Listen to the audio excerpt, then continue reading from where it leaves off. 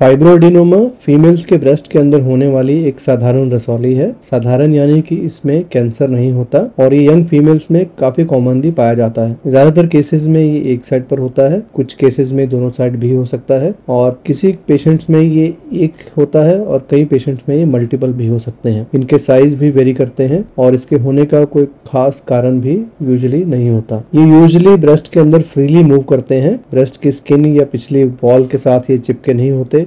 इसीलिए इसे breast mouse का भी नाम दिया जाता है। इसका डायग्नोसिस पक्के तौर पर बनाने के लिए कभी कभार डॉक्टर्स कुछ टेस्ट भी करवाते हैं, जैसे कि ब्रेस्ट का स्कैनिंग अल्ट्रासाउंड या एक्सरे या जिसे हम मेमोग्राफी के नाम से जानते हैं, या फिर इसमें एक पतली सी नीडल डालकर एफएनएसी नाम का एक टेस्ट भी किया जा सकता है, जिससे पता चलता है कि वाकई इसमें कैंसर के सेल हैं या नहीं। हर एक पेशेंट जिसे फाइब्रोडिनोमा है, उसे ऑपरेशन की ज़रूरत नहीं होती। अगर आपको ऐसा लगता है कि इसकी वजह से आपको पेन है या आपको ये स्वेलिंग देखने में अच्छी नहीं लग रही है, या आपके मन में बहुत डर बैठ गया है कि ये कहीं कैंसर ना हो तो उन केसेस में आप डॉक्टर से रिक्वेस्ट करके इसे निकलवा सकते हैं। अगर गांठ छोटी है तो उसी हिस्से को सुन कर कर निकाला जा सकता है, और अगर ये बहुत बड़ी है तो कुछ कंडीशंस में पेशेंट को बेहोश कर कर फिर ऑपरेशन किया जाता है। ऑपरेशन के बाद इस गांठ को टेस्ट के लिए भेजा जाएगा, जिसमें बचा हुआ डाउट भी क्लियर हो जाएगा कि ये कैंसर है या नहीं। कुछ पेशेंट्स में ये गांठें धीरे धीरे एज के साथ कम होकर अपने आप ठीक भी हो सकती हैं और कुछ पेशेंट्स में ये धीरे धीरे बढ़ भी सकती हैं। तो ऐसा बताना कि किस पेशेंट में ये बढ़ेंगी या कम होंगी, ये